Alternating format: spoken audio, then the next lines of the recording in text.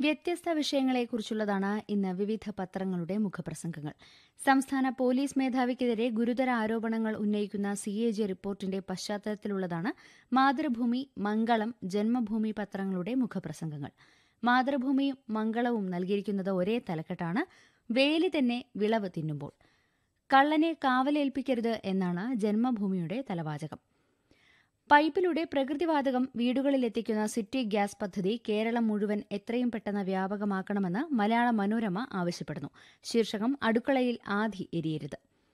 പുതിയ അധ്യാപക തസ്തിക സൃഷ്ടിക്കാൻ സർക്കാരിന്റെ മുൻകൂർ അനുമതി വേണമെന്ന ബജറ്റ് നിർദ്ദേശത്തിനെതിരെ എയ്ഡഡ് സ്കൂൾ മാനേജ്മെന്റുകൾ രംഗത്തെത്തിയ സാഹചര്യത്തിലാണ് കേരള കൌമുദി എഴുതിയിരിക്കുന്നത് സംയമനത്തിന്റെ വഴി സ്വീകരിക്കണം എന്നാണ് തലക്കെട്ട്. തീരനിയന്ത്രണ വിജ്ഞാപനം അനുസരിച്ച് അനധികൃത നിർമ്മാണങ്ങളുടെ പട്ടിക തയ്യാറാക്കുമ്പോൾ തീരദേശവാസികളുടെ കിടപ്പാടവും തൊഴിലും നഷ്ടമാകുന്ന സാഹചര്യമുണ്ടാക്കരുതെന്ന് ദീപിക ഓർമ്മപ്പെടുത്തുന്നു. ശീർഷകം തീരപരിപാലനത്തിന്റെ പേരിൽ കിടപ്പാടും നഷ്ടമാവരുത്. സംസ്ഥാനത്ത് സെൻസസിനെക്കുറിച്ച് ജനങ്ങൾക്കുള്ള ആശങ്ക തീർക്കാൻ സർക്കാർ തയ്യാറാകണമെന്ന് ചന്ദ്രിക ആവശ്യപ്പെടുന്നു. തലക്കെട്ട് സെൻസസും എൻ പി ആറും ആശങ്ക അകറ്റണം. മധ്യേഷ്യയിൽ അമേരിക്ക നടത്തുന്ന ഇടപെടലുകളെക്കുറിച്ചാണ് മധ്യേഷ്യയിലെ സാമ്രാജ്യത്വ വടംവലി എന്ന പേരിലുള്ള മാധ്യമത്തിന്റെ മുഖപ്രസംഗം. ഏതംഗം മരിച്ചാലും കുടുംബാംഗങ്ങൾക്ക് ആ ഇടവകയുടെ പള്ളി സെമിത്തേരിയിൽ മൃതദേഹം അടക്കം ചെയ്യാൻ അവകാശം നൽകാൻ വ്യവസ്ഥ ചെയ്യുന്ന ബില്ലിനെക്കുറിച്ചാണ് ദേശാഭിമാനി എഴുതിയിരിക്കുന്നത്. തലക്കെട്ട് മൃതദേഹങ്ങൾ തർക്കവസ്തു ആകരുത്. ഇന്ത്യൻ നാഷണൽ കോൺഗ്രസ് സദാ ജാഗ്രതയോടെ പ്രവർത്തിക്കേണ്ടതെന്ന് വീക്ഷണം വിലയിരുത്തുന്നു.